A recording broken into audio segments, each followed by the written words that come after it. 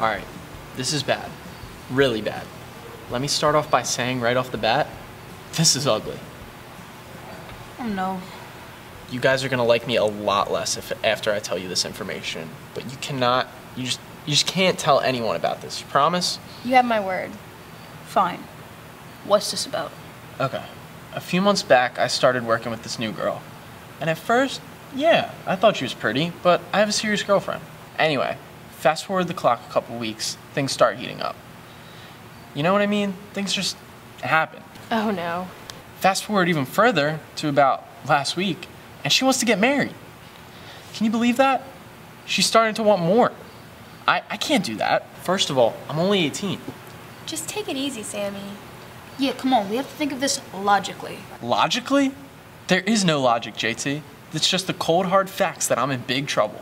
Trouble? This new girl's threatening me, and well, she plans on telling my girlfriend, telling everyone, if I don't give myself over to her demands. Like what? What does she want? She wants me to build an entire world for us. I mean, I'm only 18.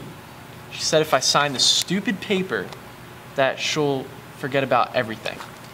So if you sign this paper, she'll leave you alone? That's good, right? She'll just forget about it. It gets worse. Much worse. I've. I've hired a man. Sam, what are you talking about? You know, a man to make this all disappear.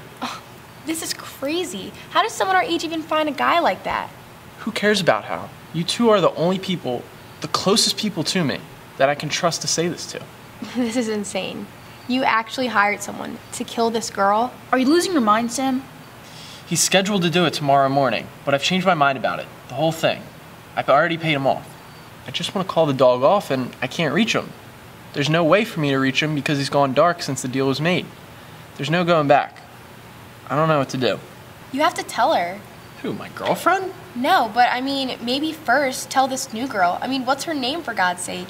Amanda? You need to tell Amanda that she's in danger if you can't reach this man you've hired. You need to contact Amanda and tell her that she's in danger or you will be responsible for her murder. Do you understand me? I can't do it. Well, then I can't help you with this. Wait, I can't believe you told us this. Now we're involved. If you don't call this girl right now in front of me, I will call the police myself and turn you in. you guys promised me. I didn't expect this. We're talking about human life. This is insane. You need to stop this now. It's the only way, Sam. Please. Please tell me you'll make this right for your sake. For everyone's sake. Okay, you're right. You're right. I'll do it. Where are you going? You need to make the call. Here, now. I'll do it. I promise.